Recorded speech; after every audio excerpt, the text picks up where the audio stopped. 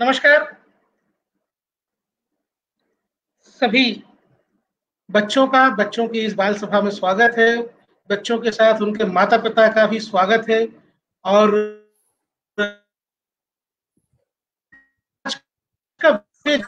जिस पर हम लोग के लिए बैठे हैं बाल सभा में।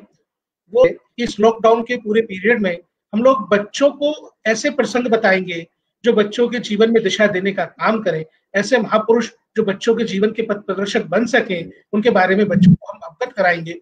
आज मैं बहुत धन्यवाद करना चाहूँगा आदरणीय मुकुल जी का, जिन्होंने ये समय निकाला हम लोगों के बीच और आज उपस्थित हैं हमारी बाल सभा के प्रमुख वार्ताकार के रूप में।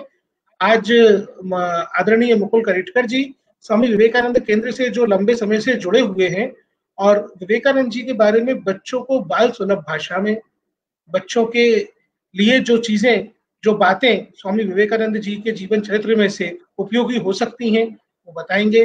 बच्चों के साथ, बच्चों की भाषा में, बाल सभा में आप सभी का स्वागत। धन्यवाद आदरणीय मुकुल भाई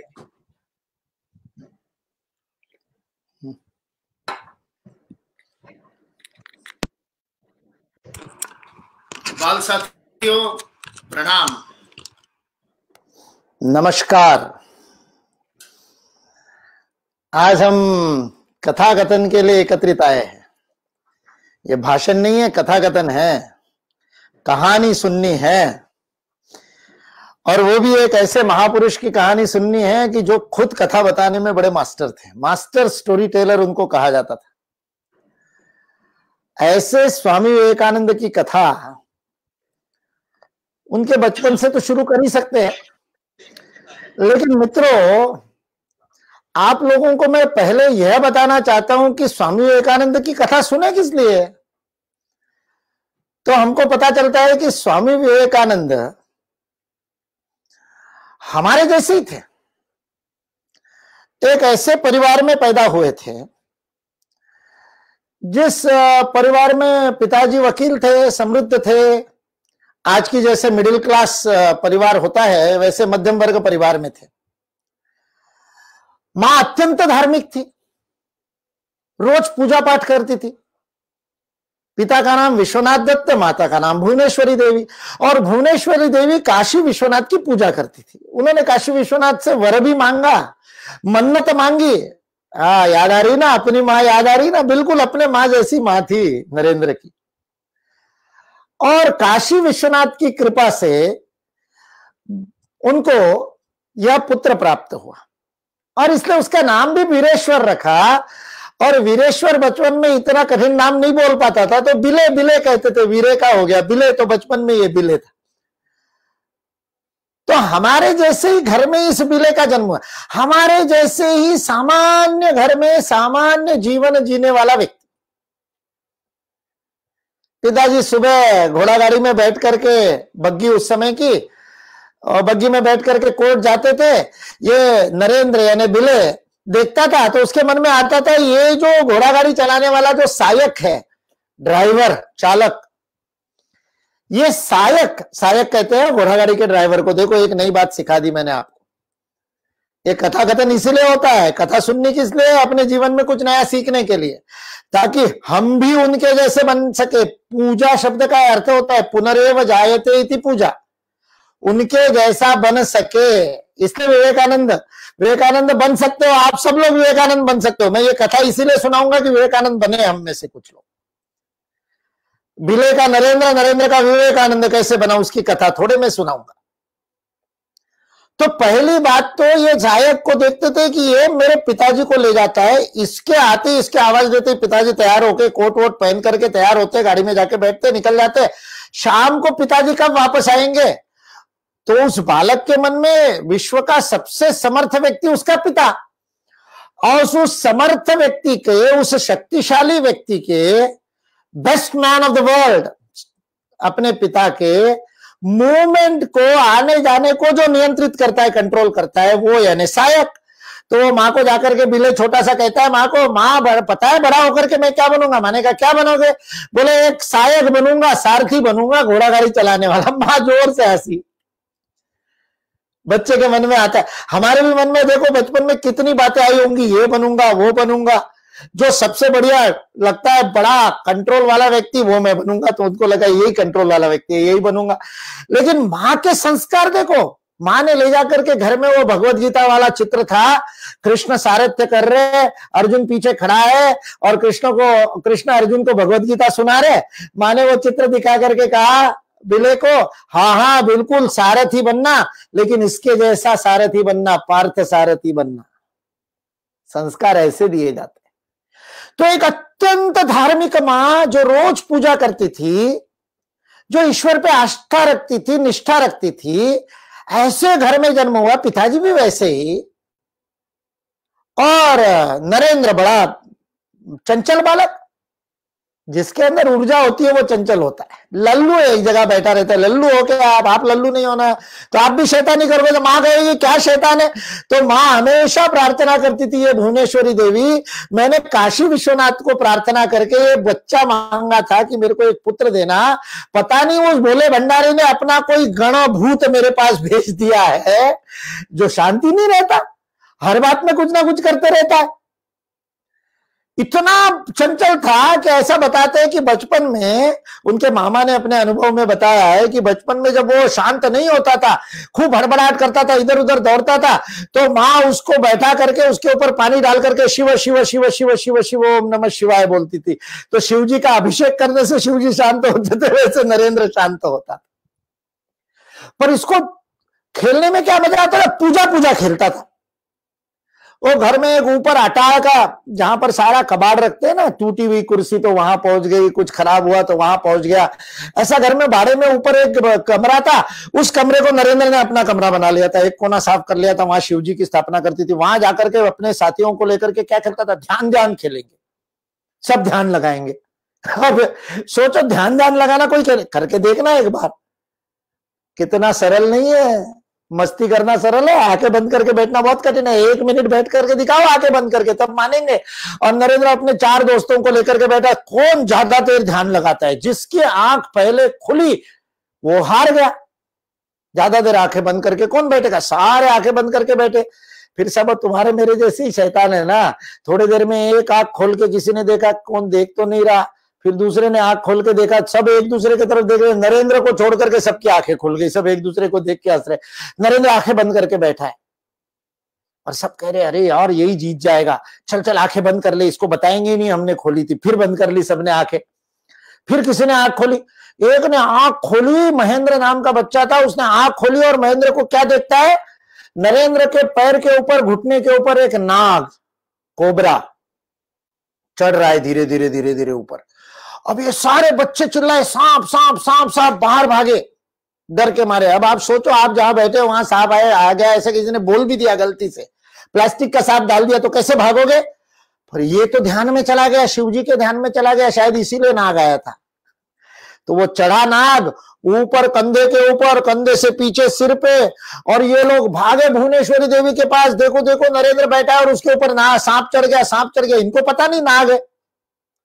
नाक पता होता तो और डर जाते, नाक तो विषेला होता है, सारे सांप विषेले नहीं होते, नब्बे प्रतिशत सांप विषेले नहीं होते, डरने की आवश्यकता नहीं होती। पाँच सात प्रतिशत विषेले पर नाग बड़ा विषेला होता है, कोबरा, किंग कोबरा। वो नरेंद्र के ऊपर चढ़ाया, नरेंद्र को पता ही नहीं, बिले के ऊपर ध्यान लगा के बैठ गया, लग गया था इसका ध्यान, इसको क्या पता चले?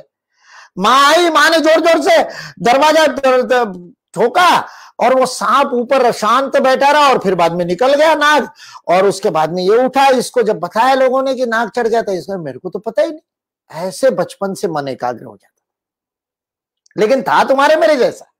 शैतान, एकदम। माँ ने कहा, वो बगीचे में मत जाना। बोले, क्यों मत जाना? वहाँ ब्रह्म राक्षस है। बोले, ब्रह्म राक्षस क्या होता है? राक्षसों का बाप ब्रह्म राक्षस, सबसे बड़ा राक्षस। बोले, कहा है?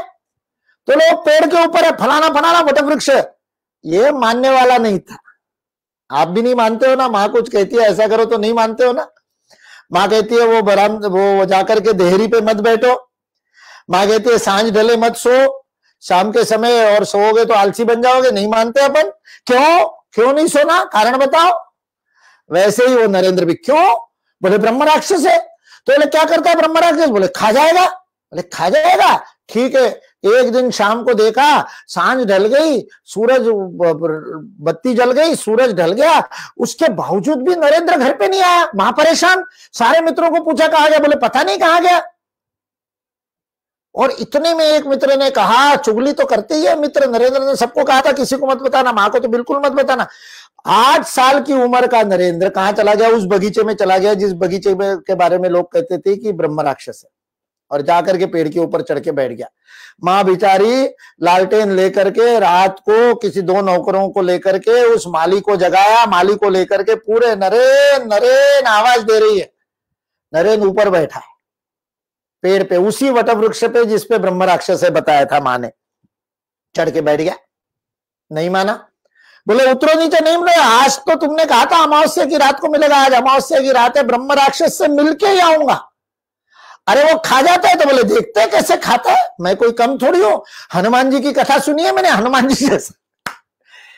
जब तक माँ और मालिक को ये नहीं मानवा लिया कि ब्रह्म राक्षस नाम की कोई चीज़ होती नहीं है, आप डराने के लिए कहते हो, आम तोड़े नहीं, इसलिए हमको उल्लू बनाने के लिए आपने ब्रह्म राक्षस कहा है। आम के उस बगीचे में नहीं जाए, इसलिए बच्चों ये जब तक सच नहीं बुलवा लिया, उतरे नहीं ऊपर से नीचे। ऐसे थे। मानते नहीं थे। एक कथाकार ने कथा में हनुमान जी की कथा सुनाई। और हनुमान जी की कथा सुनाते हुए सात जो चिरंजीव है, प्रहलाद, बलि, विभीषण, हनुमान, परशुराम, उसमें हनुमान चिरंजीव है। बोले, चिरंजीव क्या होता है? बोले, जो कभी नहीं मरता। तो बोले, आज भी जीवित है। जाकर के मिल लिए कथाकार से बाद में बारह साल की उम्र थी। क्यों, आज भी जीवित है? तो कथाकार ने कहा हाँ हाँ जीवित है। कैसे पता? बोले, लिखा है शास्त्रों में। बोले, शास्त्रों में लिखा है तो फिर वो कहा मिलेंगे? जीवित है तो मिलना पड़ेगा ना उनको। मैं तो बचपन से हनुमान जी को आदर्श मानता हूँ, मैं उनको मिलना चाहता हूँ। एड्रेस बताओ, कहा मिलेंगे? अब वो बेचारा कथाकार क्या एड्रेस बताया? उसने तो पढ़ी पढ़ाई बात सुनाई थी, उसने थोड़ी हनुमान जी को देखा था। तो वो कहता है कि नहीं नहीं, मैम, नहीं नहीं, आप एड्रेस बताओ, पीछे पड़ गया बारह साल का नरेंद्र। तो फिर उनको बताना पड़ा। ऐसे ही बता दिया उसने, मना, मज़ाक के लिए बोले, बंदर है, बंदर कहाँ रहेगा? केले के बगीचे में होगा। अब ये केले का केले का बगीचा ढूंढते ढूंढते फोर्ट विलियम पहुँच गए। फोर्ट विलियम के पास में कलकत्ता में उनको केले का बगीचा मिला, वहाँ पर ये बारह साल का नरेंद्र अपने मित्रों को लेकर के मित्र तो डर के भाग गए। नरेंद्र वहीं बैठा रहा, हनुमान जी से मिले बगैर नहीं जाऊँगा। वहाँ ढूंढते भाई माँ ने कहा, ऐसे नहीं मिलते। बहुत साधना करनी पड़ती है। ध्रुव की कहानी सुनाई, प्रहलाद की कहानी सुनाई, बहुत बैठ के तप करना पड़ता है, ध्यान करना पड़ता है, तब हनुमान जी दर्शन देते अच्छा चलो तो फिर ये काम कर लेते क्यों जाने बिना नरेंद्र बात को नहीं मानता था? हम भी ऐसे ही करते इसलिए हमारे में से प्रत्येक नरेंद्र बन सकता है। सारी स्थिति ये थी। विद्यालय में अंग्रेज़ी शिक्षा, घर में धर्म शिक्षा, संघर्ष मन में चल रहा है। ये सच है कि वो सच है? अंग्रेज़ी शिक्षा हर बात पे शंका लेने को कहती है, श्रद्धा नहीं। किसी बात को और श्रद्धा प्रश्न को मना नहीं करती है। अंधविश्वास होता है, अंधश्रद्धा नहीं होती, श्रद्धा तो खुली आँखों से की जाती है। प्रश्न पूछ करके की जाती है। नरेंद्र ने हमेशा प्रश्न पूछे। तो बस तो फिर वहाँ से प्रश्न मिलता था। यहाँ से उत्तर जो मिलते थे वो समझ में नहीं आते थे। माँ कहती थी, तू शिवजी को पूछ भाई। शिवजी तेरे को बताएँगे। कॉलेज में पहुँचते पहुँचते, अरे आपके मेरे जैसे ही थे, बहुत ज़्यादा, बाद में तो उनके बारे में प्रोफेसर फिलिप्स हॉर्वर्ड यूनिवर्सिटी के उसने लिखा, professor John Wright Harvard university के, उन्होंने स्वामी विवेकानंद का, वहाँ शिकागो की वह सर्वपंथ सभा के जो फादर थे, फादर बेरोज जो क्रिश्चियन पादरी, उसके आयोजक थे शिकागो में, जिसका सबको जानते हैं, स्वामी विवेकानंद शिकागो से फ़ेमस हुए। उसको स्वामी विवेकानंद का परिचय पत्र प्रोफेसर जॉन राइट ने लिखा था। उसमें उन्होंने लिखा था कि विवेकानंद की प्रतिभा, इतना टैलेंट है, उनके पास इतनी बुद्धि है कि तराजू के एक पलडे में विवेकानंद की बुद्धि रख दो और दूसरे पलडो में, पलडे में अमेरिका और यूरोप की सारे वैज्ञानिकों की और सारे विद्वानों की बुद्धि रख दो तो भी स्वामी विवेकानंद का पलड़ा भारी होगा। इतनी बुद्धि, ये का लेकिन वो बचपन में विद्यालय में ऐसा नहीं था। विद्यालय में नंबर वन नहीं आते थे। तुम्हारे मेरे जैसे ही थे। बीए में स्वामी विवेकानंद को फोर्टी थ्री परसेंट त्रियालीस परसेंट मार्क्स मिले थे second class second class pass होने वाले विवेकानंद बन सकते फ़र्स्ट क्लास वालों का पता नहीं मुझे। इसलिए आप चिंता मत करना। मिडिल क्लास परिवार में से, मध्यम वर्गीय परिवार में से, धार्मिक माँ, विद्यालय में शंका, घर में श्रद्धा, इसके बीच में नरेंद्र तैयार हो रहा है। एक दिन मन में प्रश्न है मुझे जीवन में करना क्या है? बचपन में था, था सारथी बनना है वो बदल गया। फिर आगे चल के वकालत में एलएलबी में एडमिशन ले ली वकालत करेंगे। फ़र्स्ट ईयर में थे एलएलबी में ये करना वो करना चलती रहता था। ये बन जाएँगे वो बन जाएँगे फिर क्रांतिकारी को उनको सुनते थे तो वो बन जाएँगे। उनके विद्युत उनके कक्षा में एक माइकल मधुसूदन दत्त करके था। मधुसूदन दत्त उसका नाम था। ईसाई बन गया माइकल बन गया। तो वो भी एक अट्रैक्ट करता था। मिशनरी आकर के मिशनरी स्कूल में ही पढ़े थे। तो फादर आकर के कहता था, ईसा मसीह को मान लो। लेकिन इनके मन में आता था, नहीं नहीं, ऐसे कैसे होता है क्या? भगवान होता है तो कहाँ होता है? मन में प्रश्न आता था, मैं कौन हूँ? किस लिए पैदा हुआ? चलो, आगे लाइन पे, प्रश्न लाइन पे आ गया। अभी तक हनुमान जी कहा रहते ये पूछ रहे थे। अभी तक ब्रह्म राक्षस कहा रहते पूछ रहे थे। वो सारी बाहर की पूछताछ। माँ, तुम ऐसा क्यों करती हो? माँ, वैसा क्यों करती हो? ये पूजा ऐसी क्यों? ये उत्पटांग बाहर के प्रश्न जब अंदर चले जाते हैं, तब विले का नरेंद्र बनता है और नरेंद्र का विवेकानंद बनने की प्रक्रिया शुरू होती है। पहला प्रश्न आया, मैं कौन हूँ? किस लिए पैदा हुआ? मेरे जीवन का लक्ष्य क्या है? क्या करने के लिए मैंने जन्म लिया है? आपके मन में भी आता है ना? बार बार आता है, लेकिन अपन उसको साइड में रख देते हैं। अभी दसवीं का वर्ष है, माँ कहती पढ़ाई कर, फालतू के प्रश्न मत पूछ। अभी बारहवीं का वर्ष है, फालतू के प्रश्न मत पूछ। तो ट्यूशन में जाना है, वो टीवी देखना है, वो वीडियो गेम खेलना है, उसमें ये प्रश्न भूल जाते हैं। लेकिन ये प्रश्न जिसने अपने आप से पूछा, वही महापुरुष बनता है। विवेकानंद ने पूछा, नरेंद्र ने पूछा, मैं कौन हूँ? किसलिए पैदा हुआ? माँ को जाके पूछा, माँ, तूने मन्नत मांगी थी भगवान से। अब बता तूने मेरे को क्यों जन्म दिया? नौ महीने पेट में पाला, दूध पिलाया, अपना बता मेरे जीवन का लक्ष्य क्या है? माँ बोली, तेरे प्रश्न मेरे नहीं पल्ले पड़ते, तू फालतू की बातें मेरे को मत पूछा कर, वो भगवान ने तेरे को भेजा था। मैंने काशी विश्वनाथ की पूजा की थी, उसने अपने गणों में से भूत मात्र उसके जो सारे होते हैं उनमें से एक भेज दिया, ये वीरेश्वर। तो तू मेरे पास आया है, उसको पूछ भगवान को जाकर के। तो बोले, भगवान कहाँ होता है? देख सकते होता है तो देख सकते अब दूसरा प्रश्न आ गया। पहला प्रश्न था मैं कौन हूँ? अब उसके आगे का प्रश्न आ गया भगवान होते हैं क्या? होते हैं तो उनका पता क्या है? एड्रेस बताओ। W W W W Bhagwan dot com पे मिलेंगे कहाँ मिलेंगे? तो नरेंद्र ने ढूंढना शुरू कर दिया भगवान कहाँ मिलेगा? उसी समय उनका प्रार्थना समाज और ब्राह्मण समाज से परिचय हुआ जो निराकार की साधना। अट्रैक्ट करता है निराकार। साकार में तो ये मूर्ति में पत्थर में थोड़ी भगवान है। पत्थर में कहा से भगवान होगा? अट्रैक्ट एकदम पत्थर में भगवान नहीं होगा सो, सोच लिया। बाद में जाकर के नरेंद्र ने इसको साबित किया कि पत्थर में भी भगवान होता है। वो अलग बात है आएगी उस कथा में। अगर कथा कथन के लिए समय रहा तो वहाँ भी पहुँच जाएँगे। जब राजस्थान में वो गए और उनको साफा मिला। ये जो स्वामी विवेकानंद साफे के लिए जाने जाते हैं, उनको राजस्थान में मिला। बचपन से नहीं साफा पहनते। बंगाल में कौन साफा पहनता है? तो बंगाली थे ओरिजिनल तो इसलिए उन्होंने प्रश्न पूछना शुरू किया। जो मिलता है उसको प्रश्न पूछते केशव चंद्र सेन को पूछा। ब्राह्मण समाज वाले थे। और रविंद्रनाथ ठाकुर के पिताजी थे, देवेंद्रनाथ ठाकुर। वो बहुत साधना करते थे। और गंगा जी में एक शिकारे पे, नाव पे बैठ करके, आँखें बंद करके साधना करते थे। एक दिन शाम के समय कॉलेज में पढ़ने वाला नरेंद्र और गंगा जी में तैरता हुआ, कपड़े सारे गीले हो गए, वो उसकी धोती और वो ऊपर झब्बा, उसका बंगाली कुर्ता, वो सारा गीला हो गया, चिपक गया।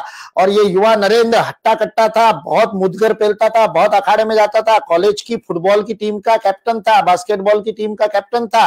शारीरिक रूप से हष्टपुष्ट था, इसीलिए आगे जाकर के उन्होंने बोला, गीता पढ़ने से भगवान मिलेगा कि नहीं, पता नहीं, फुटबॉल खेलने से ज़रूर मिलेगा। क्योंकि उस उस कृष्ण ने बताइए, जो एक उंगली पर उठा लेता था गोवर्धन तो शक्तिशाली ही भगवत गीता जान सकता है, ये विवेकानंद का संदेश है। फुटबॉल खेलो। भगवान मिलेगा।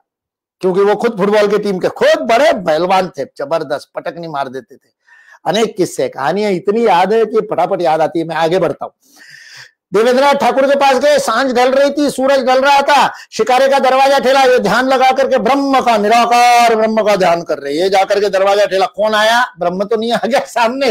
ये चमकदार आँखों वाला और तेजस्वी गोरा चिट्टा बीच में से मांग भरते थे विवेकानंद तो दोनों तरफ़ घुंघराले बाल, एकदम किसी हीरो, सारे तुम्हारे आज के हीरो झक मारेंगे उनके सामने। ऐसा सुंदर व्यक्तिमत्व विवेकानंद का, नरेंद्र का, और वो खड़ा होकर के देवेंद्र ठाकुर कहते कौ अरे हाँ तू विश्वनाथ दत्त का बेटा, एकदम पहचान लिया। नरेंद्र ने पूछा, आप बताओ, आपने ब्रह्म को देखा है? ब्रह्म पे भाषण देते हो, प्रवचन देते हो, ब्रह्म को देखा है? एक बार देखते रहे, उसकी आँखों में देवेंद्र ठाकुर क्या उत्तर दे? देखा तो था नहीं। तो क्या उत्तर देते तो उन्होंने बात टालने के लिए कहा, तुम्हारी आँखें कितनी अद्भुत है। ऐसा लगता है जैसे तुम ध्यान लगाते हो। मैंने तो नहीं देखा, लेकिन तुम ज़रूर एक दिन ब्रह्म को देखोगे। बरे फिर तुम किसी काम के नहीं, तुमने ब्रह्म को वापस चले गए। एक दिन वर्ड्सवर्थ की कविता सुनाते समय उसमें एक शब्द आया, ट्रांस। और इनके जो एक फादर थे, एक शिक्षक थे अंग्रेज़ी के, उन्होंने सिखाते सिखाते उस ट्रांस शब्द का अर्थ समझाते समय कहा ट्रांस जिसको तुम हिंदू लोग समाधि कहते हो। भावातीत अवस्था। ये शरीर से, मन से परे चले जाना जब आप सब भूल जाते हो और शून्य में चले जाते हो, उसको समाधि कहते हैं। तो फिर नरेंद्र खड़ा हो गया। आपको पता है क्या किसी की समाधि लगी हुई आप जानते हो किसी को? तो उन्होंने कहा, हेस्टी साहब ने जो उनको सिखाने वाले विलियम हेस्टी जो शिक्षक थे, उन्होंने कहा, मेरी तो नहीं, समाधि वमाधि लगी, लेकिन मैं एक पागल आदमी को जानता हूँ, वो दक्षिणेश्वर का पुजारी है, रामकृष्ण परमहंस, उसका नाम है, लोग कहते हैं कि उनको समाधि लगती है। लोग कहते हैं कि वो भारतीय अवस्था में जाते हैं। अच्छा एड्रेस मिल गया। बोले, उनको मिलना पड़ेगा, जाना पड़ेगा। अपने मित्र को कहा सुरेंद्र नाथ बैनर्जी, बोले, चलते हैं। बोले हाँ एक बार दक्षिणेश्वर चलते इतना आसान नहीं था। सिमुलिया मोहल्ले में, कलकत्ता में विधान सारिणी वहाँ रहते थे। वहाँ से दक्षिणेश्वर जाना, घाट पे जाना पड़ेगा, नौका में बैठ के जाना पड़ेगा और परीक्षा वरीक्षा, अपन जैसे बिज़ी रहते वो भी बिज़ी थे। आज परीक्षा, आज सेशनल है, आज कॉलेज है, आज इस डिबेट में जाना है, आज वहाँ भाषण में जाना है, आज वहाँ प्रार्थना समाज में प्रार्थना है, आज वहाँ ब्राह्मो समाज में, आज वहाँ पर किसी नेता का भाषण है। पॉलिटिकली भी तो नरेंद्र जी, आपके जैसे हर बात में लगे रहते थे। तो व्यस्तता में जा नहीं पाए। एक दिन अचानक उनको कहा, बाजू वाले मोहल्ले में रामकृष्ण परमंश किसी के घर भोजन करने आए। इनके स्वामी विवेकानंद के मामा थे रामचंद्र दत्त। कहा कि उनके पास में बुलाया तुमको। तुम गाना बहुत अच्छा गाते तो ये सितार बजाते थे, संगीत के साधना करते थे। गाना सुनना अच्छा लगता है, उनके घर भोजन है, तुम गाना सुनने आ जाओ, गाना सुनाने आ जाओ। तो वहाँ पर ठाकुर की पहली भेंट हुई। रामकृष्ण परमहंस के दर्शन हुए। तब पूछताछ वगैरह कुछ नहीं हुई, तब सिर्फ़ एक गीत गाया, एक बाउल गीत वहाँ का जो बंगाल का होता है, चल मन निज निज निकेतने। वह गीत गाया और उस गीत को सुनकर के रामकृष्ण परमहंस समाधि में चले गए, भावावस्था में के चले गए, आँखों में से आँसू बह रहे, कि ये मरते लोग में मैं जो आया हूँ, ये मेरा घर नहीं है, मेरा घर तो कहीं और है, उस लोक में जाना है, ईश्वर के पास में, ऐसा उनके मन में भाव आया होगा। चला मन निज निकेतने, बंगला गीत गाया नरे, नरेंद्र ने और ठाकुर को समाधि लगी। नरेंद्र को लगा पागल है इसके पास जाने को कह रहे ये बुढ़ा ये तो क्या फालतू रो रहा था इस गाने में कुछ रोने लायक था क्या? ये तो आध्यात्मिक गाना था बहुत बड़ी फिलोसफी इसमें वेदांत की है और वेदांत की फिलोसफी रो रहा है। ऐसे भावुक आदमी के पास में मेरे प्रोफेसर को, को पागल है कुछ कहते? लेकिन पता नहीं क्या हुआ मन में आकर्षण जग गया और रोज रोज वही ठाकुर का चेहरा दिखता। फिर रामचंद्र दत्त जी को कहा, आप तो जानते हो, ले चलो। रामचंद्र दत्त एक दिन उनके मामा उनको ले गए दक्षिणेश्वर। और वहाँ दक्षिणेश्वर में ठाकुर के दर्शन हुए। सारे लोग बैठे हुए, कीर्तन सा चल रहा है और ठाकुर बैठे हुए और नरेंद्र रामचंद्र के साथ एक आया और ठाकुर ने कहा, अरे, कहा था तू, नौरेन? एकदम ज़ोर से आवाज़ दी। कब से तेरी प्रतीक्षा कर रहा हूँ? तब कब से तेरा, तेरे लिए मैं व्याकुल हो रहा था? रोज ऊपर छत पे चढ़ के माँ को कहता, माँ, मेरा नौरेन कहा है? नरेंद्र कहता है, मनी मन वाकई पागल है। एक बार मिले और ये कहा मैंने कहा था? बोले, उस दिन मैंने तुमको कहा था। भाव उन्होंने कहा था, दक्षिणेश्वर आना। इन्होंने कहा था हाँ आ जाऊँगा। तूने मेरे को हाँ कहा और नहीं आया डेढ़ महीने तक। एक एक दिन रामकृष्ण परमंश गिन रहे थे। हाथ पकड़ करके बाजू में बरामदे में एक छोटे कमरे में अपने कक्ष में ले गए। खूब सारे संदेश, मिठाई ले ले करके अपने हाथ से नरेंद्र को खिला रहे अब तू रोज आना। अब तू जाना ही मत, मेरे साथ ही रहना। पता नहीं इन संसारियों के साथ रह करके तुम्हारे जैसे वैरागी की प्रतीक्षा कर रहा था, इन संसारियों में मेरा मन नहीं लगता, व्याकुल हो जाता है। नरेंद्र को कुछ नहीं समझ में आया, ये क्या फालतू बातें कर रहे हैं। आप सोचो, कल कोई सन्यासी, कोई बाबा, ये तो सन्यासी नहीं थे, इनकी तो पत्नी भी थी, माँ शारदा, लेकिन उसके बावजूद पुजारी थे, कोई ऐसा बाबा आपको कहे कि मैं तेरे को पकड़ना चाहता हूँ तो आप तो भागोगे ना? नरेंद्र भी भागा बोले, अगली बार नहीं जाना इनके पास। लेकिन मन में व्याकुलता लग गई। और जाना पड़ा। बार बार जाते बार बार जाते। तीसरे, चौथे बार में उद्यान में काशीपुर उद्यान है गंगा जी के किनारे पर, वहाँ पर ठाकुर थे। रामकृष्ण परमहंस बैठे हैं पेड़ के नीचे और नरेंद्र उनके साथ फिरता फिरता उनके पास में बैठ गया। नीचे में नरेंद्र बैठा है, ऊपर ठाकुर बैठे स्वयं स्वामी विवेकानंद ने बताई हुई घटना है इसलिए उसकी सत्यता पर कोई प्रश्न नहीं। नीचे वो बैठे, ऊपर ठाकुर बैठे और अचानक नरेंद्र ने वह प्रश्न पूछ लिया जो प्रश्न उनके मन में इतने दिनों से था, सबको पूछते थे। क्या आपने ईश्वर को देखा है? रामकृष्ण परमांस को नरेंद्र ने पूछा कि माँ काली की पूजा करते हो लेकिन भगवान साक्षात देखा है? दर्शन किए?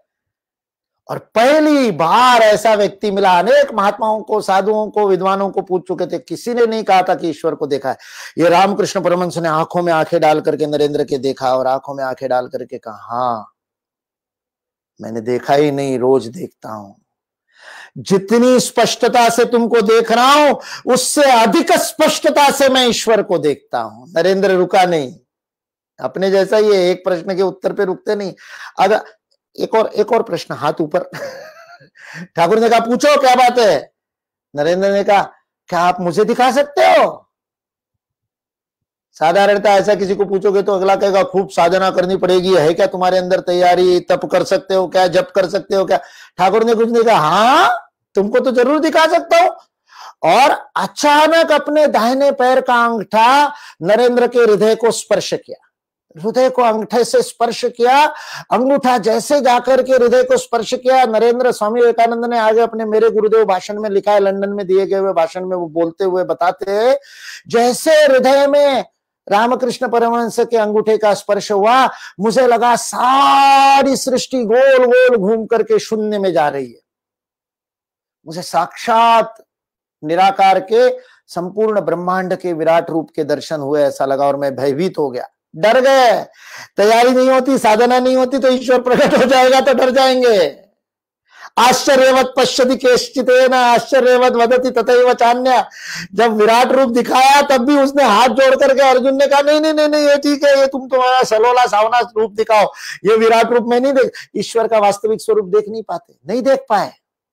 डर गए और ज़ोर से चिल्लाए, अरे क्या कर रहे हो? मेरे माता पिता है, मेरा परिवार है।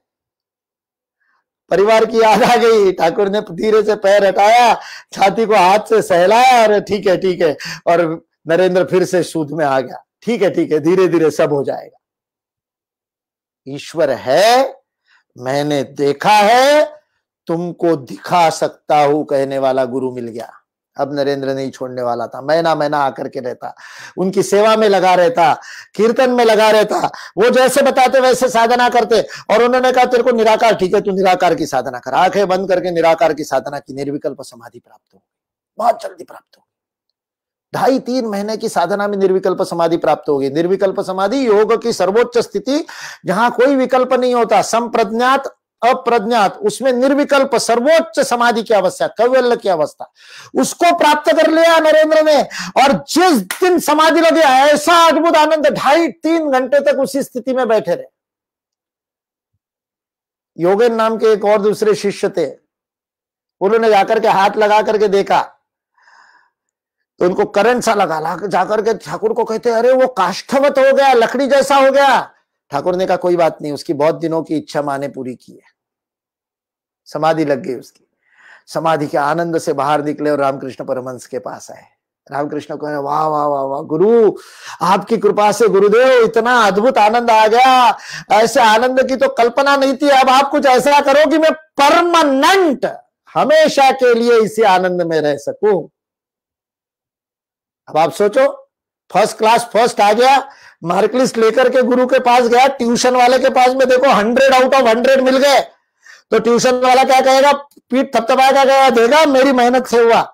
ठाकुर ने ये नहीं कहा। ठाकुर ने कहा, धत तेरी नरेंद्र तू ऐसा शूद्र स्वार्थी, अपने स्वयं की सोचता है, समाधि में रहना चाहता है, आनंद में रहना चाहता है, तेरा जन्म इसके लिए नहीं हुआ। तुझे माँ का काम करना। तेरा जन्म माँ का काम करने के लिए हुआ है। जब तक माँ का काम नहीं कर लेता, मैंने तेरे हृदय को लगा दिया ताला। अब ये कुंजी मेरे पास रहेगी, तब तक ये ब्रह्मानंद फिर नहीं मिल सकता जब तक माँ का काम नहीं कर लेता। क्या है माँ का काम? नरेंद्र को पता नहीं। प्रश्न पूछ नहीं सकते। उस समय तो समाधि के आनंद में चलता रहा ठाकुर। बीमार पड़ गए। इधर नरेंद्र के पिताजी चले गए। जो घर में अमीरी दिखती थी थोड़ा सा अपर मिडिल क्लास जैसा वातावरण था, वो सब समाप्त हो गया। पता चला कि पिताजी दानवीर थे, इसको, उसको दान देते रहते थे। घर में कुछ पैसा नहीं बचा, सारा कर्जा है घर के ऊपर। रिश्तेदारों ने कोर्ट केस लगा दिए। रहने के लिए घर नहीं है, किराए के मकान में जाके रहना पड़ा। छोटा भाई की नौकरी नहीं, इनकी नौकरी नहीं, छोटी बहन है जिसका विवाह करना है। घर संभालने के लिए कुछ नहीं, माँ के पास खाने के लिए कुछ नहीं। नरेंद्र दर दर भटकता था, नौकरी ढूंढता था बीए किया हुआ था, ईश्वरचंद विद्यासागर के विद्यालय में काम किया, शिक्षक के रूप में। और कहीं पर काम किया। घर में खाने को नहीं था तो माँ को आकर के कहता था, दोस्त, क्या खा करके आ गया? भूखा रहता, ताकि छोटे भाइयों को खाना मिले। घर की ये गरीबी की परिस्थिति ठाकुर के पास जाता ही था। एक बार ठाकुर को कहा, देखो, आप तो रोज माँ से बातें करते हो मेरी परिस्थिति आपको दिखती नहीं है कि माँ को खाने को नहीं मिल रहा और आप मतलब मज़े कर रहे हो? आप तो मेरे को केवल संन्यास लेने के लिए कहते हो और मेरे को वैराग्य की दीक्षा देते हो, मेरी माँ का कौन ध्यान रखेगा? मातृभक्त थे विवेकानंद, माँ पे प्रचंड प्रेम था। शिकागो से वापस आने के बाद भी माँ की परिस्थिति अच्छी नहीं थी। तो उन्होंने अपने मित्र प्रिंस अजीत सिंह, खेतड़ी के महाराज को पत्र लिखा कि मेरी माँ भुवनेश्वरी देवी बहुत कष्ट में है, उनको भोजन करने की व्यवस्था नहीं है। मैं सन्यासी हूँ, मैं माँ के लिए जाकर के पैसा नहीं दे सकता। इन विदेशियों से मेरे को पैसा मिला है, मैंने मठ स्थापित किया, मैं रामकृष्ण मठ का काम करता हूँ, पैसा तो मिलता है मेरे को, लेकिन मैं अपनी माँ को नहीं दे सकता। आप मेरे मित्र हो, इसलिए आपको कह रहा हूँ। और प्रिंस अजीत सिंह ने अठारह से लेकर 1897 से लेकर 1920 तक, स्वामी विवेकानंद 1911 तक, जब तक भुवनेश्वरी देवी जीवित रही। स्वामी विवेकानंद तो 1902 में चले गए। 1911 तक 1911 तक भुवनेश्वरी देवी रही। प्रति माह सौ रुपया, उस समय बहुत बड़ी कीमत थी सौ रुपए की। प्रिंस अजीत सिंह ने भेजा था, ऐसी मातृभक्ति थी। अभी युवावस्था में नरेंद्र विवेक, रामकृष्ण को कह रहा है, आप माँ से कहकर के मेरे को नौकरी लगवा दो, मेरे भाई को नौकरी लगवा दो, मेरे माँ के भोजन की व्यवस्था करो। रामकृष्ण परमहंस इसी का इंतज़ार कर रहे थे। इसको निराकार का तो दर्शन हो गया, साकार का नहीं होगा, तब तक पूरा नहीं होगा। पूरा करना है तो साकार का दर्शन होना चाहिए और साकार को तो ये मानता नहीं है, कहता है, मिट्टी में कौन सा भगवान है? अब इसके इसका ये भ्रम ठीक करने के दिन आ गए। तो रामकृष्ण परमहंस ने कहा, देखो, माँ के पास वकील, वकालत की ज़रूरत नहीं पड़ती माँ के दरबार में कोई वकील नहीं है उसके कोर्ट में। मेरी ज़रूरत नहीं है, तेरे को मांगना है ना तुझा माँ, मांग माँ को। माँ मेरा सुनेगी? अरे माँ वो सबका सुनती है। जा। ठाकुर ने भेजा। नरेंद्र गया। मैं गया उस भवतारिणी के मंदिर में। कई बार गया और जितनी बार गया, उतनी बार इसी भाव से गया कि कैसे मन में शंका लेकर के नरेंद्र गया होगा उस गर्भगृह में। अद्भुत सुंदर काले पाषाण की मूर्ति है दक्षिणेश्वर में माँ की। इतनी सुंदर मूर्ति है, साक्षात जीवंत। और नरेंद्र अंतर गया तो उसको वो मृणमयी वह मिट्टी की, वह पाषाण की मूर्ति नहीं दिखी। उनको साक्षात माँ के दर्शन हुए, माँ सामने खड़ी हो गई। क्या मांगने गए थे? खुद के लिए नौकरी, माँ के लिए रोटी। वहाँ जब माँ के दर्शन हुए, जब ईश्वर सामने प्रकट हो जाता है तो मन की शूद्रता समाप्त हो जाती है, छोटापन समाप्त हो जाता है। फिर ये छोटी छोटी बातें नहीं माँगता, भिक्षा नहीं माँगता। क्या मांगा? माँ मुझे ज्ञान दो, भक्ति दो, वैराग्य दो। ज्ञान, भक्ति और वैराग्य का दान मांगा। बाहर आया, ठाकुर ने कहा, मांगी नौकरी? बोले, नहीं, नौकरी नहीं मांगी, वहाँ क्या नौकरी माँगता ज्ञान, भक्ति क्या वापस? जो मांगने गया था वो मांग। तीन बार माँ ने दर्शन दिए, तीनों बार ज्ञान, भक्ति, वैराग्य मांगा। वापस आने के बाद ठाकुर को बहुत आनंद हुआ, गले लगाया और गले लगा कर कहा, कोई बात नहीं, अब तेरे माँ का योगक्षेम मैं देखूँगा, तेरे माँ को कभी भोजन की कमी नहीं पड़ेगी। रामकृष्ण परमंश के देहांत के बाद नरेंद्र को दायित्व दे करके एक दिन हाथ पकड़ करके कहा, मैं सारा उत्तरदायित्व तेरे को देता हूँ। ये गुरु भाइयों की चिंता तुझे करनी है। सारे सोलह गुरु भाई वराहनगर मठ में रहने लगे। और फिर नरेंद्र भारत के भ्रमण पे निकला, वही प्रश्न था, माँ का काम, कौन सा माँ का काम? हिमालय आवाज़ देता था, जाकर के साधना करो। जब जब साधना करने जाते, हिमालय की कंदराओं में जाकर के बैठते, गुफा में रहते, ककड़ी घाट नाम की एक जगह है एक पेड़ के नीचे साधना की उन्होंने लिखा है मैं गया उसके, उस पेड़ के नीचे। क्या अद्भुत सुंदर वट वृक्ष है। वहाँ बैठ करके ध्यान लग जाता था। स्वामी, किसी का भी लग जाएगा। स्वामी विवेकानंद वहाँ बार बार जाते थे। नाम अलग अलग सच्चिदानंद नाम लिया पहले, फिर और विविधिशानंद नाम लिया। विवेकानंद नाम भी उनको राजस्थान ने दिया। ये साफे वाला वेश भी राजस्थान ने दिया। राजस्थान पहुँचने से पहले ये नाम नहीं था। विविधिशानंद सच्चिदानंद खूब घूमे। जब जब हिमालय में जाते, तब तक ठाकुर की आवाज़ आती। धत तेरी तेरा जन्म इस काम के लिए नहीं हुआ है। माँ का काम करेगा। वट वृक्ष बनेगा। सैकड़ों लोगों को अपने ऊपर आश्रय देखा अपने आनंद के लिए तेरा जन्म नहीं हुआ, मोक्ष के लिए जन्म नहीं हुआ। शुद्र स्वार्थ मत रख अपने आनंद का। अपनी मुक्ति का स्वार्थ मत रख। अनेक घटनाएँ हाथरस में बैठे थे स्टेशन के ऊपर। हाथरस के स्टेशन मास्टर जो आगे चल करके उनके शिष्य बने, पहले सन्यासी शिष्य सदानंद उनका नाम बना। वो आकर के देखते तो लेट, वही लेट जाते थे बेंच के ऊपर, वहीं बैठ करके ऐसे दूर देख रहे शून्य में। इन्होंने जाकर के हाथ जोड़ करके कहा, युवा सन्यासी, अट्ठाईस, उनतीस वर्ष की आयु थी। गेरुए वस्त्र पहना हुआ इन्होंने कहा, महात्मा, क्या से देख रहे हो? मेरा भविष्य देखने की कोशिश कर रहा हूँ। क्या दिख रहा है? एक धुंधल किसी योजना आँखों के सामने दिख रही है, लेकिन मैं पता नहीं पाता कि क्या करूँ। क्या करना चाहते हो? बम बन के इस समाज पे फट पड़ना चाहता हूँ इस सोए हुए समाज को जगाना चाहता हूँ। करीब से भारत को देखा। गरीब की झोपड़ी में रहे। एक जगह एक गाँव में बैठे थे। राजस्थान की घटना में थोड़ा जल्दी बता रहा हूँ। राजस्थान में बैठे थे एक गाँव में। सामने एक चमार बैठा रहता था। तीन दिन से लोग आते थे, पेड़ के नीचे इनसे कुछ कुछ बातें सुनते थे, उपदेश सुनते थे, भविष्य पूछ लेते थे, लेकिन किसी ने भोजन के लिए नहीं पूछा। वो चमार सामने जूता ठीक करता, नया जूता बनाता, तीन दिन बाद उसको लगा, ये महात्मा भूखा है।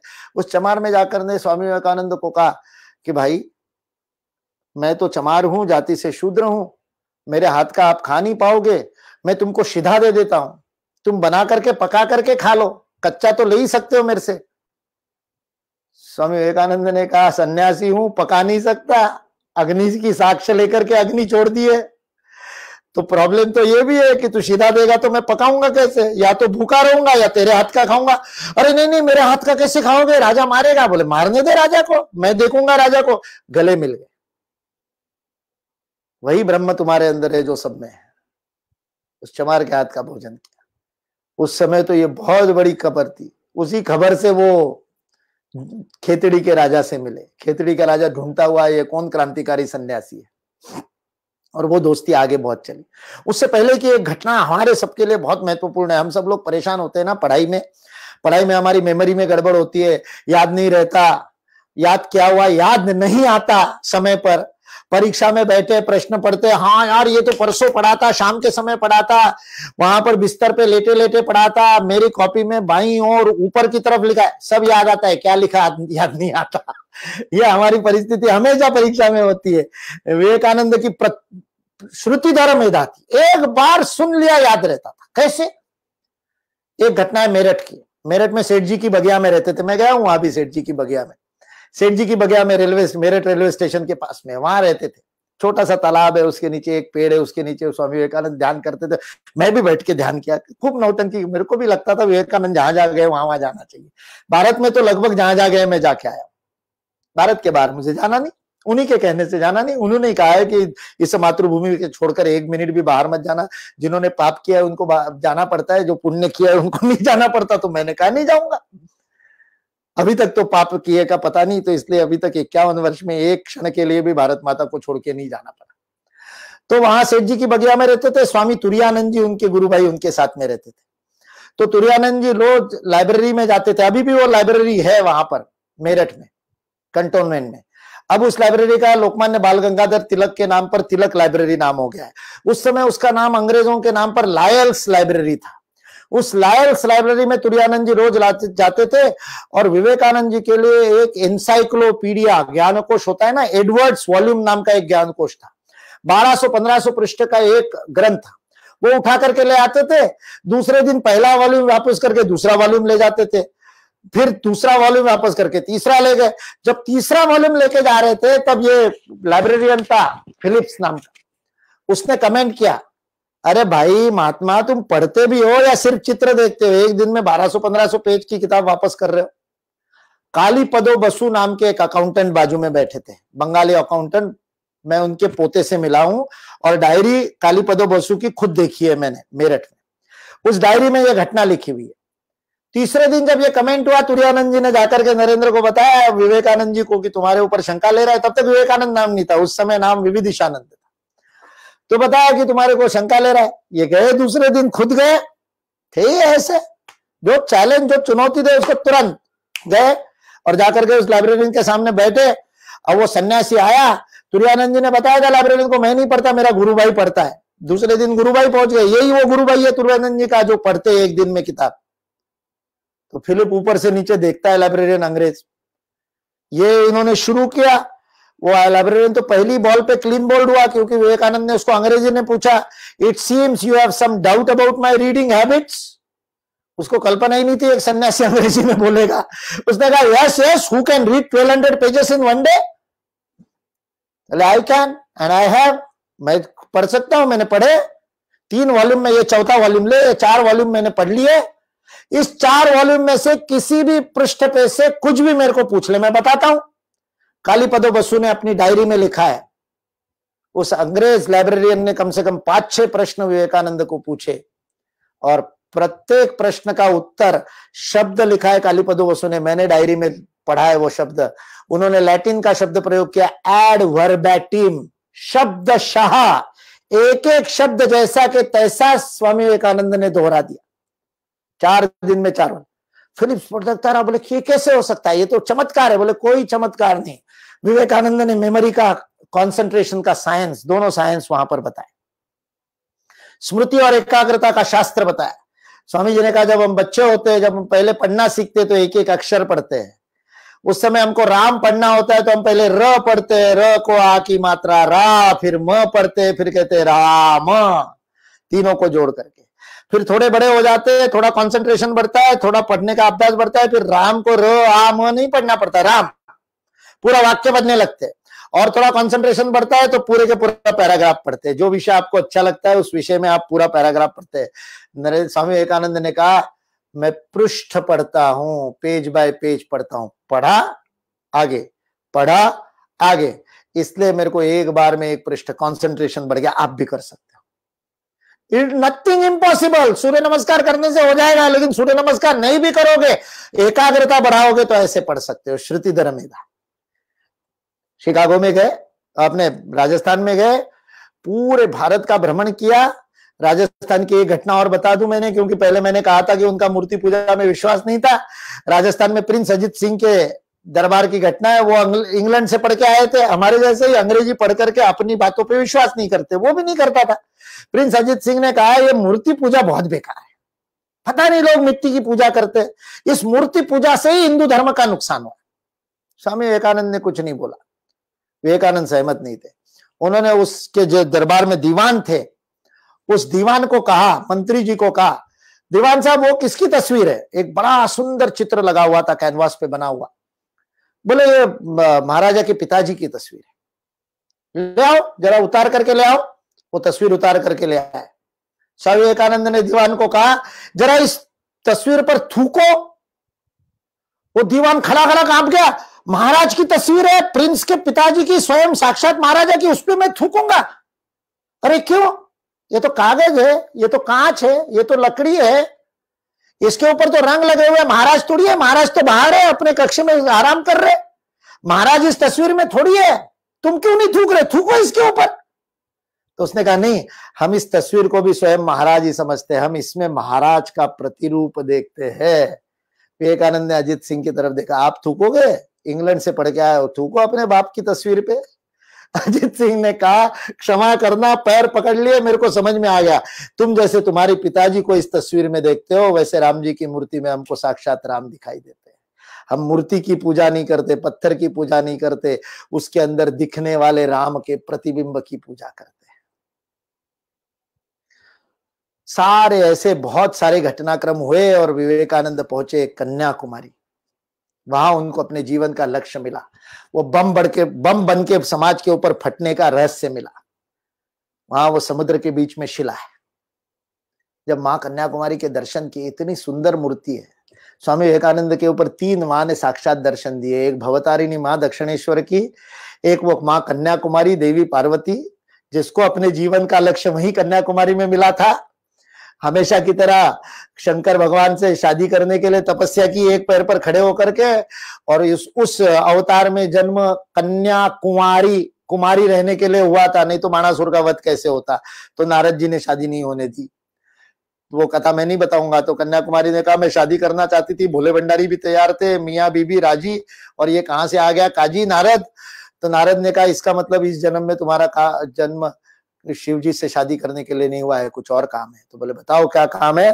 तो बोले, असुर शक्ति का नाश करना है। जिसको अपने जीवन का लक्ष्य मिला ऐसी माँ पार्वती वहाँ पर खड़ी है। अद्भुत सुंदर नाक में नथ के अंदर जो हीरा है, क्या सुंदर दिखता है, अद्भुत दर्शन है वहाँ पर। वहाँ साक्षात माँ के दर्शन, विवेकानंद को हुए। साष्टांग दंड किया, माँ मुझे मनुष्य बना दो। माँ मुझे मार्ग बता दो, क्या करना है? गुरु ने कहा था, माँ का काम करना है। किस माँ का काम करना है, समझ में नहीं आता। माता भुवनेश्वरी देती, माँ शारदा, या तू भगवती, किसका काम करने के लिए मेरा जन्म हुआ है? उत्तर तो नहीं मिला, लेकिन एक संकेत सा हुआ। वहाँ वो समुद्र के बीच में शिला है। बोले, वो क्या नाम है उस शिला का? बोले, उसे श्रीपाद शिला कहते हैं। क्यों? श्री का, देवी का पाद, पैर का चिन्ह उसके ऊपर है। वहाँ खड़े होकर के तपस्या की थी।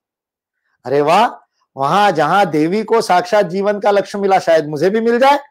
नाव वालों को कहा, जरा ले चलो। नाव वालों ने कहा, तीन पैसे लगेंगे। सच्चा सन्यासी था। बड़े बड़े एफडी वाले, ट्रस्ट वाला सन्यासी नहीं था। सोने के सिंहासनों पर और लोहे के, वो चांदी के सिंहासनों पर मखमल के वस्त्र पहन करके बैठने वाले राजसी सन्यासियों में से, परिव्राजक सन्यासी। गांठ में एक पैसा नहीं था, तीन पैसा तो छोड़ो। पूरे भारत का भ्रमण बिना एक पैसे के किया। लोगों ने टिकट निकाल के दिए। पोरबंदर के दीवान में टिकट निकाल के दिया। ट्रेन में लोकमान्य तिलक मिले। लोकमान्य तिलक घर में लेकर के आए। पुणे में लोकमान्य तिलक के साथ सात दिन रहे। आगे का मैसूर का टिकट लोकमान्य तिलक ने निकाल करके दिया। मैसूर के दीवान ने आगे का टिकट निकाल करके दिया। पूरे भारत का भ्रमण बिना एक पैसा पास में रखे किया उस सन्यासी और वहाँ कन्याकुमारी में बचे, नाव वालों ने कहा, बिना पैसे के नहीं ले जाएँगे। उन्तीस साल का युवा छलांग लगा दी उस लहरों के बीच में। अभी हम गए थे दो महीने पहले तो मेरे साथ तीन युवा साथी थे। जैसे वो नाव से जाते हैं, वो नाव लहरों पे झूलती है तो सारे सौ, दो सौ लोग नाव में बैठे, हा करते हैं डर जाते हैं।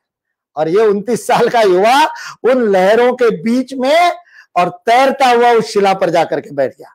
चौबीस, पच्चीस, छब्बीस दिसंबर अठारह सौ बानवे ट्वेंटी फिफ्थ एंड ट्वेंटी तीन दिन और तीन रात्रि तक ध्यानस्थ बैठा और वहाँ उनको जीवन का लक्ष्य मिला।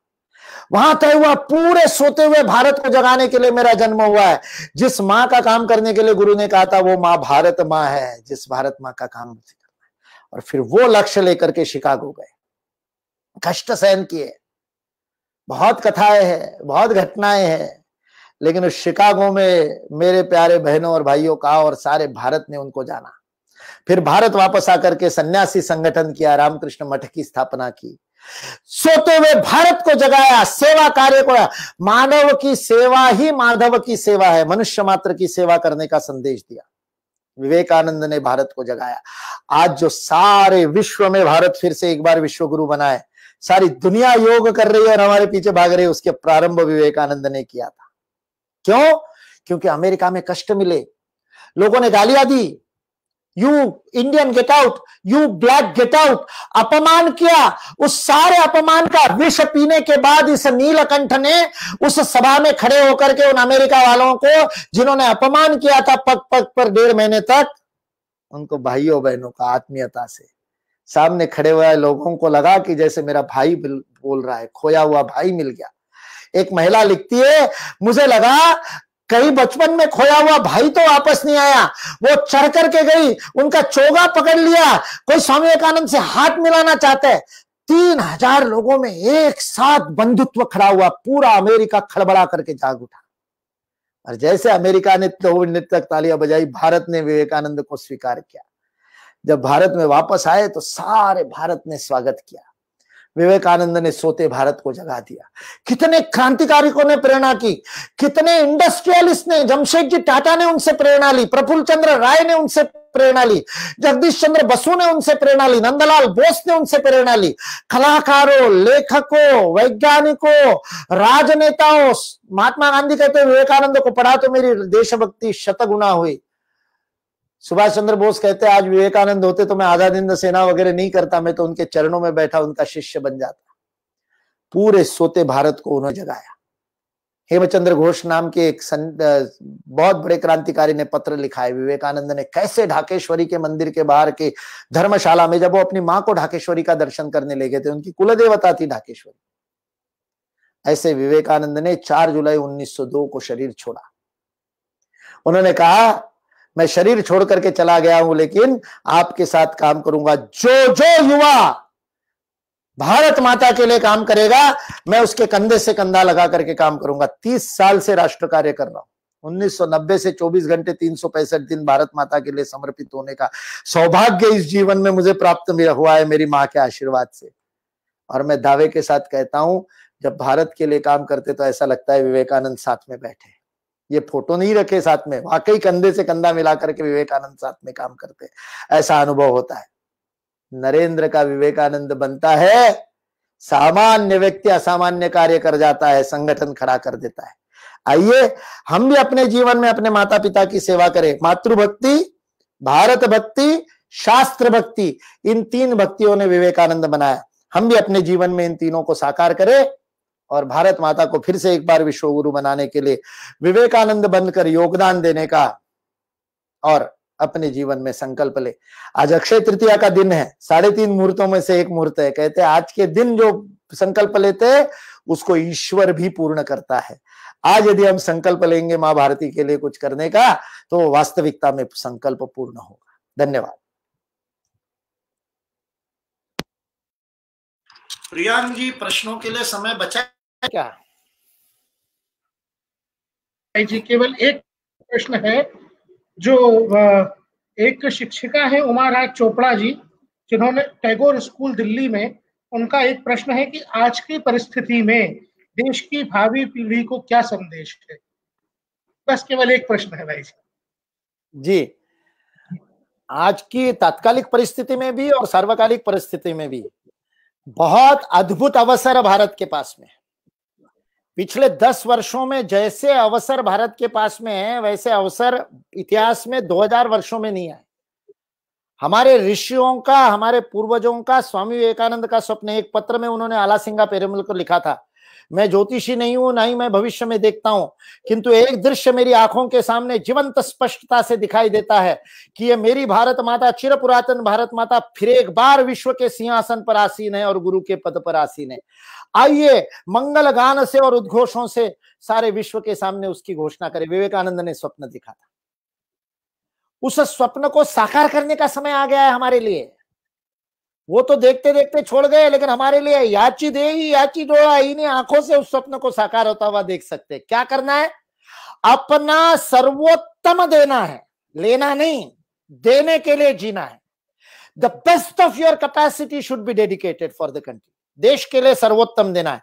अपने जीवन का लक्ष्य तय करते समय राष्ट्रीय लक्ष्य को ध्यान में रख करके करना है। समर्पित तो होना है। और ज़्यादा से ज़्यादा समय देना है। यही युवा पीढ़ी के लिए स्वामी विवेकानंद का संदेश है। वो कहते हैं, युवा साथियों को, मद्रास में दिए गए भाषण में इतना अद्भुत वाक्य है। हे मेरे युवा साथियों, मैं आपसे बहुत प्रेम करता हूँ। क्या प्रेम है? ऐसा प्रेम क्या मतलब कल्पना नहीं कर सकते। विवेकानंद का प्रेम है। विवेकानंद कहते हैं मेरे युवा साथियों, मैं आपसे बेहद प्रेम करता हूँ। हृदय के अंत स्थल से मैं आपसे प्रेम करता हूँ। और इसलिए चाहता हूँ कि आप अपने मातृभूमि पर कार्य करते करते न्योछावर हो जाए। क्या प्रेम है? बलिदान होने की कल्पना कर रहा है ऐसा प्रेम। उन्होंने कहा, इन युवाओं में से मेरे साथी आएँगे। आप सब कुछ कर सकते हो। केवल अपने आप को समर्पित करने की आवश्यकता है। उनका वाक्य है, अद्भुत वाक्य है। This is the time to decide your future यही समय when you are young and the strength and energy is bubbling in you तुम्हारे अंदर ऊर्जा जब उमड़ रही है सागर के लहरों के समान, ऐसे यौवन के समय ही समर्पित होना है मातृभूमि के लिए। उनका वाक्य है, क्योंकि भगवान के चरणों में ताज़ा पुष्प चढ़ाए जाते मुरझाए हुए नहीं। दलित गात्र होने के बाद नहीं। इसी समय राष्ट्र का काम करने का समय। आइए, अपने आप को समर्पित करें और माँ भारती को फिर एक बार अपने गौरव को प्राप्त करने के लिए अपना योगदान दे। यही स्वामी विवेकानंद का युवाओं के लिए संदेश है। धन्यवाद। और आपने जो पिछले बावन मिनट में सबको मंत्र मुक्त करके हमको स्वामी विवेकानंद जी के बारे में बताया है हम लोग कल्पना कर सकते हैं कि स्वामी जी ने जब शिकागो में भाषण दिया होगा तो उस तेज की उस ओज की किरणें जो आपने तप द्वारा खुद के अंदर सिद्ध की है कैसे पूरी दुनिया उनके उनके भाषण को सुनने के लिए मंत्र मुक्त हो गई होगी। आपका बहुत बहुत धन्यवाद। आपको सभी बच्चों की तरफ़ से, इस बाल सभा की ओर से बहुत बहुत प्रणाम करते हैं। बहुत बहुत धन्यवाद। सभी बच्चे लगातार बाल सभा से जुड़े रहे। आगे हम जानेंगे कश्मीर के राजा सम्राट ललितादित्य के बारे में, बंगाल के क्रांतिकारी बाघा जतिन के बारे में, आसाम के क्रांतिकारी महापुरुष आदरणीय लाचित बुरफुकन के बारे में। तो ऐसे अनेक क्रांतिवीरों के बारे में हम लोग जानने के लिए बाल सभा से जुड़े रहिए। बाल सभा का कार्यक्रम समय समय पर सोशल मीडिया पर पोस्ट किया जाएगा। सभी बच्चों को बहुत धन्यवाद। नमस्कार। राम राम वाह।